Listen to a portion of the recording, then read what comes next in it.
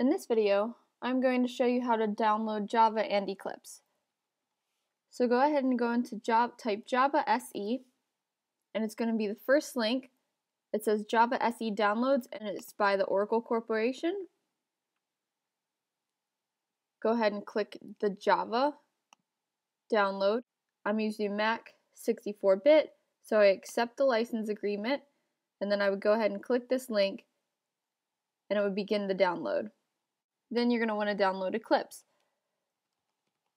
Go ahead and just type Eclipse or Eclipse Java and go to the Eclipse IDE for Java developers. And this is where you're going to get your packages. So you go to the side, download links, and find what you're running. So I'm on a Mac OS X and it's a 64 bit, so I would click that link and then it would start the download process. And those are the two downloads that you're going to need to begin programming in Java.